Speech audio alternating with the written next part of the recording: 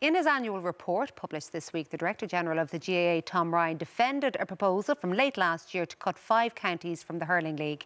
Fielding the teams is simply papering over the cracks, he said. Tonight we're going to try to assess what the biggest cracks are and how they might be addressed. It's a dilemma as old as the GAA itself. How to grow hurling, how to develop the weaker counties, and spread the reach of the game. The recent proposal to confine five counties to championship hurling only and give them time to reset and rebuild their hurling structures caused a huge backlash. So the proposal was deferred, but yet the problem remains. One could argue that the hurling map looks more or less the same as it always has. In 1994, Nicky Brennan declared that the game was dying on its feet. Numerous initiatives followed. Among them was Scéim Emona 2000, the brainchild of then President Joe McDonagh. £2.5 million was set aside for the three year project, the biggest ever investment in the game. Next up, Sean Kelly's Hurling Development Committee saw the Christy Ring, Nicky Rackard, and Lory Meagher Cups established. A National Hurling Director was appointed, first Paddy Butler, and later Martin Fogarty. But since Fogarty stepped down in late 2021, the position has remained vacant. Competitions such as the Táin Leagues and the Celtic Challenge have worked well, but are unheralded by the general public. On the ground, though, coaches say that Gaelic football development squads or club sessions often coincide with the hurling games, and there's only one winner. What of the counties that are further on in their journey towards making or sustaining a place in the Liam McCarthy Cup? Sports science supports and funding was in the past given to those counties, but are we any closer to stopping the seesaw nature of top flight promotion and then relegation? Plans have come and gone, but progress progress has been slight. In the past few years, there have been worrying signs of the game struggling in some traditional counties. The last couple of seasons have seen the Allianz League lack jeopardy, although that has now been tweaked. Some feel that the hurling championship feels a little squeezed, and there has been a cry to see more hurling games on TV. The suggestion to move the five counties from the league could be revisited down the road if progress is not seen, and progress is possible. Just ask Tooreen Naas, Tralee CBS, and Carlow. The GAA's new strategic plan Aontas is now in operation, but when Jarlath Burns takes office and oversees this new plan, structure, strategy, accountability and measurability will surely have to be the key points. The Louth hurling captain Peter Fortune, the Westmeath hurling manager Joe Fortune are with Liam and Ursula to try to wade through what seems like a rather very wide, varied issue or issues. The reason we have you two in is because we've decided to try to focus a lot of it on perhaps the counties, the five counties who are nearly gone from the league, and also obviously the teams who are maybe seesawing between Liam McCarthy and Joe McDonagh level, and how we can get so many, many more up to that level. Before we get to the two lads, Liam, maybe you can give us your view of what you see as the hurling landscape at the moment. Yeah, Joanne, I guess, you know, we could probably do it a month to talk about this now, so to, to squeeze it into the next few minutes is difficult. But I suppose on, on the couch here, with people are so passionate about the GAA and hurling especially. Uh, you know, I suppose what it's given to me over my lifetime and what it's given to my, my parish in Portroe, like it is incredible. Um, and, you know, I, I, I suppose organisations all over the world are all the time working with the research and design to try and find a breakthrough product. We have it it's hurling. and I suppose I'm looking at it, I'm saying, we have the longevity of 140 years, but we haven't really grown it. And I think we're at the stage where we've really got to seriously look at how we can broaden where we play hurling and how often it's played. Um, we do some things really well in the GAA, in my view. I think the facilities that we have are incredible. I know there was a rebel rant last night, but outside of Cork, uh, all of the clubs, if you go into any club, the facilities that they have, and why is that there? Why are they there? It's because of the volunteers. All of the volunteers we have in every club and the work that they do, the time that they give, the energy that they give to their clubs is just incredible. And we need to make sure we look after those volunteers. But I just feel there's a disconnect between what's spoken about at national level and what's happening at clubs on the ground. One of the things that's on that strategic plan that we spoke about earlier is the games to training ratio. Take my own county in Tipperary. So you have teams back training now in January and February. The first round of the championship uh, for the senior and premier intermediate will start the end of July. There's 32 teams. Within four weeks, and potentially some people, some teams have gone in two weeks. Within four weeks, 16 teams are out of the championship after four weeks. So we can talk about a games to training ratio. We have clubs training for seven months, the expenditure that goes to training for seven months, and within two to four weeks, you're out of the championship. You know, and then we look at the meaningful games and participation. If you're an under 13 in Portroe, you're away with it, right? You'll play 20 games. You'll be awash with games. You roll that on you know, you get to a senior team, you get two games or three games in a month, and if you don't win them, you're gone. You get to our under 21 team, you have um, one game. Five of our players in our club had one game this year, just one game. and our juniors were gone in mid-June before our seniors played in July. So there was six weeks where the juniors were gone out of the field, and some nights you might have 14 or 15 training in the field. So these are all the real issues. So people ask me, is the split season working? How can a split season where clubs are getting two and four weeks uh, that, that to me, and someone said, "Oh well, we're almost there on the uh, on the on the split Tom season." Tom Ryan said that. I, I, absolutely don't agree with that. I think it's. I, I agree with the concept of the split season because players are looking for certainty, but we don't have the optimum model. And one final point I want to make, Joanne: all we're doing is we're creating super clubs. Some of the bigger clubs are getting bigger. We don't need an association where it's all about domination as opposed to competition. Slaughtneil 11 in a row, uh, Ballygunner 10 in a row, Naas 5 in a row. St Thomas is seven out of the last nine. If we don't have competition, we won't attract people. So, you know, our mission is to really be volunteer-led, be be the heartbeat of our communities, but I think we need to take a look at where we're at because in the stronger counties and in the counties across me, I think we're not anywhere where we should be or we, where we could be. Okay, so they're struggling like that in a traditional club like Portroe, in a traditional county like Tipperary. Can't imagine what it's like where the two of you are. Peter, first of all, take us through what's happened since. So it was early last November. There was this plan that was just put forward as a, a proposal. It didn't go through yet. It's been deferred. So what's happened? You're obviously captain of Louth, one of the five counties. What's happened since then? Yeah, well, I suppose um, as a player, you're straight into National League. You know, we didn't have time to reflect. It was very much so right, training starting now. We've games to prepare for. We have to get ready. Um, I suppose as a county ourselves, we've ratified a hurling development committee, which is a plus.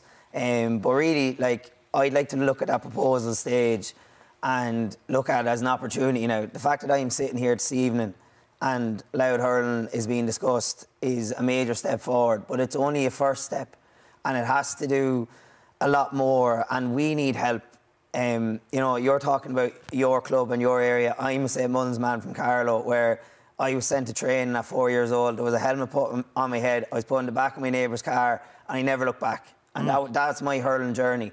That journey is not there for children in all of these counties, and that is an issue.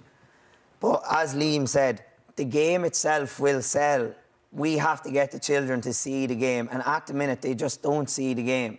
They see snippets of it here and there, and yes, they can watch something like tonight and they can see Limerick, Kilkenny and Tipperary and I watch it and I love it and I love the growing up. But they need to see their local heroes. They need to see uh, Luca McCusker from Fermanagh. They need to see how talented he is and say, I can be him. I can play for Fermanagh. They need to see a Conor Murphy from Louth and say, I can be Conor Murphy.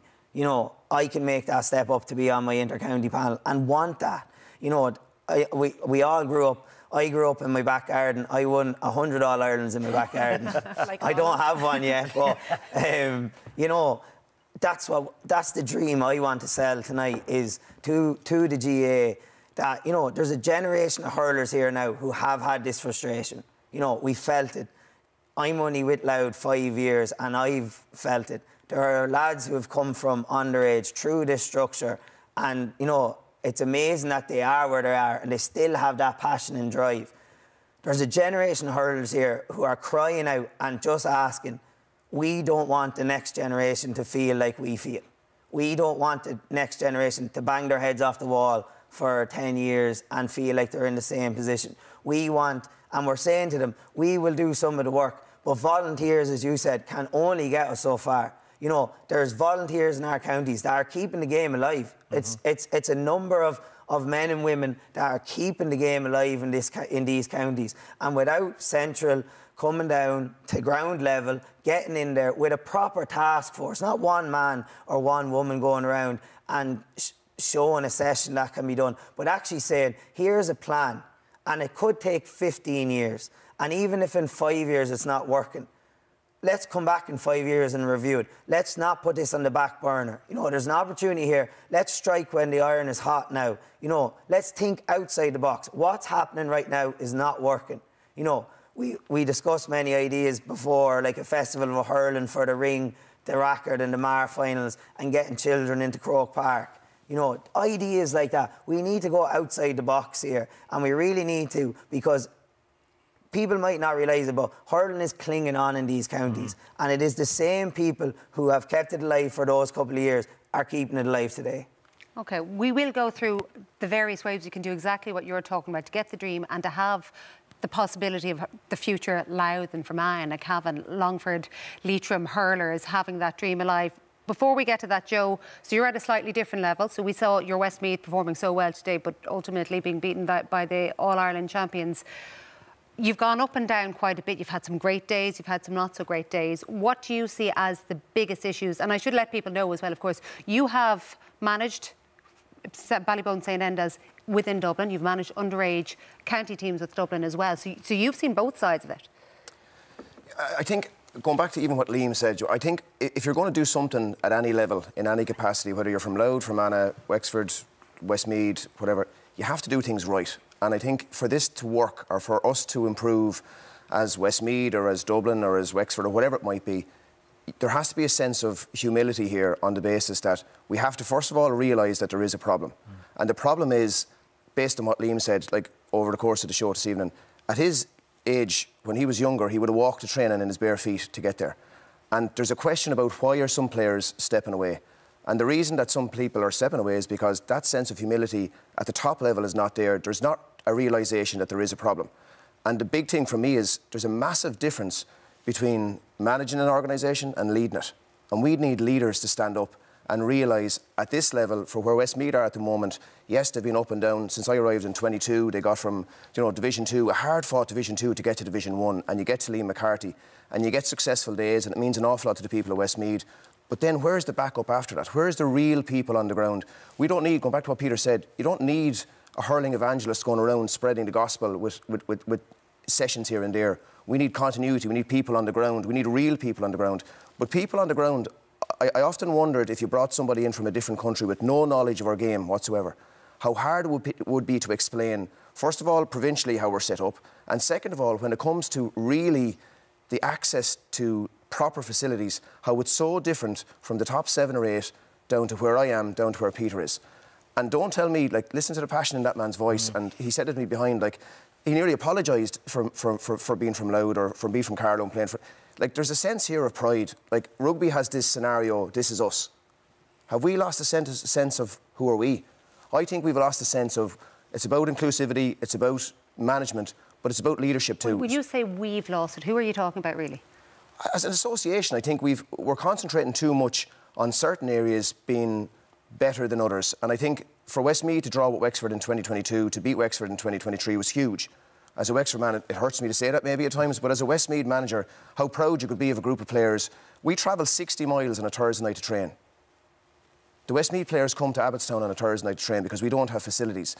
Like Frank Meskel announced last week, two weeks ago, that there is going to be a centre of excellence in Westmeath. But it's been a long time coming, and it's only for the vision of the likes of Frank and Patrick Doherty and those people that this is now happening.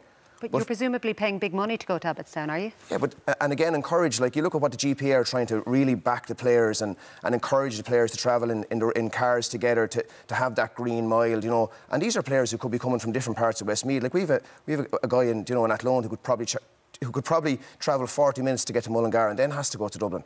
And and then you, you look at the reason about when Joe Fortune goes back in September or October and he's ratified Liam, how does he encourage and really drive the energy behind a group of players who realise that this is this is ahead of them. Like that journey on a Thursday night is ahead of them. Now you can give them the token gesture of saying, "Look, you'll have a great day like Wexford last year," but is it enough? Do, do we not need now to look at leading from the top and leading from the top with the humility first of all to realise there is a big difference. There's a big gap. But look at the results this weekend. Antrim a point to Dublin. Like we were what five or six points off. Mm. Like that was a huge day in Westmeath today. It's a massive day. And then you look at over the last couple of years Ask Eddie Brennan what it meant to the people of Laois that time when they went down there. Ask Cork what it was like going up to Antrim when they came in out of, out of a Joe McDonagh as well. Look at the turnover that we've had when we really get an opportunity and a chance. But there has to be a sense of longevity to this. You have to give us an opportunity and a chance to stay there for a couple of years to really develop these younger players as well. I should point out at this stage, by the way, that we did ask for a representative of the GAA to come on and be, this, uh, be on this discussion so that they could give their views. Uh, obviously, Jarlath Burns is not in as Uachtaráin yet, and Larry McCarthy is towards the end of his tenure, so it wasn't possible for that. We did ask for the Orthodox Tom Ryan to come in.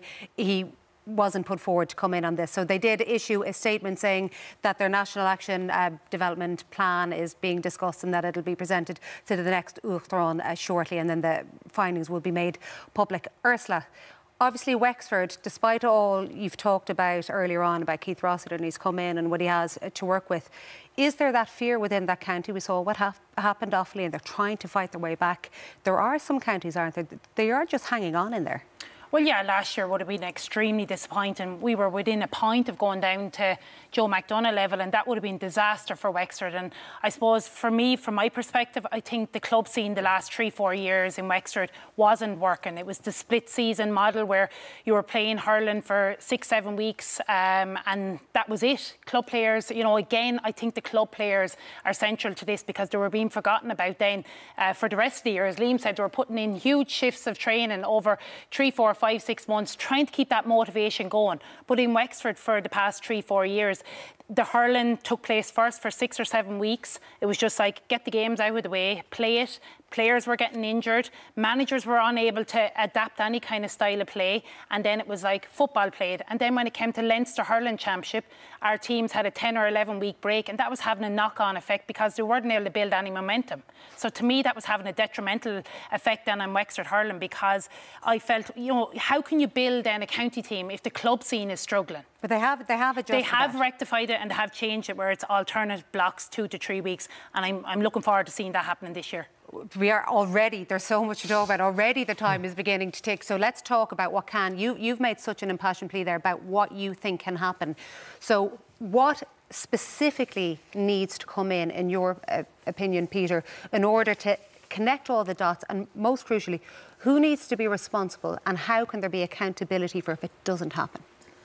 Yeah well look i suppose our biggest issue when the whole proposal came out was at the minute we don't have a strategic plan for developing hurling in these counties. There isn't one. You know, there's nobody coming to us when that proposal is there saying, you know, if this is passed, this is A, B, C, D. This is where we go. This is how we get you back into the league. You know, it, it was going to be just left in the air. And like we feel that a strategic plan has to be put in place for these types of counties and then the time and the funding has to be given to it. You know, it has to be backed financially, but again, it has to be backed with a commitment, as Joe said, that we will, you know, keep this going, no matter whether it fails. It's not going to fly in every county. If it, if it, if it did, we'd all have hurling, you know, flying in every county so if not it was just simple. Coming, not just coming from the Louth County Board or the Longford County Board, but coming from the from the top. From the is that it? Top, yeah. With with consequences. Who puts these plans in place? Where does it have to come from? Well, uh, we believe a task force needs to be put together, you know, of the right people who have the ideas. Again, look. I'm very conscious. I'm sitting here and I'm speaking, and my voice does not cover hurling in all these counties. And you know, again, a lot of times you reflect on your own and what's happening on your front door. But at the minute, we have club scenes in all these counties. You're talking about the Wexford club scene and how you can see that drop off. We have club scenes here, you know, that are really struggling. Like, again, we have three clubs in Louth at the minute competing for a senior championship. Maybe we have to think completely outside the box and break down boundaries and start to look at, you know, we're going to play league hurling in Meath next year. And that's going to be a massive opportunity for St. Fechin's to, you know, develop our young players. As you said, at the minute, our players aren't getting enough chances to actually play. You know, some players can be, you know, halfway through their playing career, and we all know we've all had a time where we didn't get into the team, or you know, it's just not working out for you at that time, and they're just not getting the games. And this is happening at juvenile level as well. So we really have to look at getting these people just playing hurling. Again, as Liam said at the very start, playing hurling will hook these people. I fully believe that. Again, I go back to the very time I started playing hurling. I only had to do it once, and I knew I wanted to do it for the rest of my life, or as long as I could. Joe? Yeah, I have, I have, a couple of things. I, I, th I, think the big thing for me is like you'll have people in Ireland tonight that'll sit at home and they'll stay up to watch the Super Bowl, whatever employers might think of that tomorrow. We have a game that we're so that we love. That's part of our DNA. I listened at the weekend there to the Fermanagh manager Joe Baldwin, who spoke about how Three weeks after having a stroke, he talked about losing his son Connell in 2012, and the only thing that got him through that, Liam, Ursula, was the fact that he'd hurling. hurling. He was, it was our integrity, right? And it was in part, it was part of us to be that type of people. And why can't we put on that festival of hurling? Like we sit around, Ursula said earlier on, till four o'clock, you know, waiting for a hurling final, for a senior hurling final. Why can't we have a hurling weekend that's a festival of all that we're good about? That's the first thing. The second thing is a huge thing for me is when we talk about promotion of the game, like in 2022, when we drew at Wexford, you'd put a better camera possibly into the beach in Portmarnock to watch the kids playing in the sea.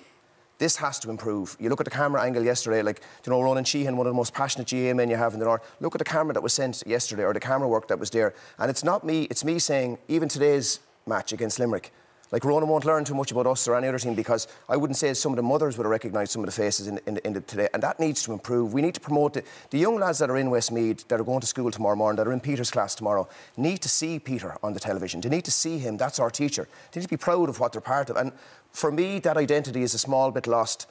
Why was there not a proper camera sent to Cusack Park? Probably because there was an expectation that Limerick were going to win by 25 or 30 points, similar to last weekend. But surely we deserve more than that. And surely the game at the level where Peter's playing as well deserves it. Maybe we need another Monday session where we can acknowledge the work that these lads. Because I know the likes of, you talk to Dara Egerton or Tommy Doyle, they're putting in the same effort than what Ronan Maher and these lads are too. It, it's just something that's part of our DNA, but surely we can promote it better. I know you have so many ideas about what we can do. The, the time has just, it's absolutely flown. I'm really sorry. We will get you back on to talk about that. We'll get you on perhaps some of our radio shows as well, but we have run out of time. Huge thank you to Joe and to Peter in particular for coming on tonight. And hopefully we'll chat more and keep this conversation going. And as always, a thank you to Liam and to Ursula.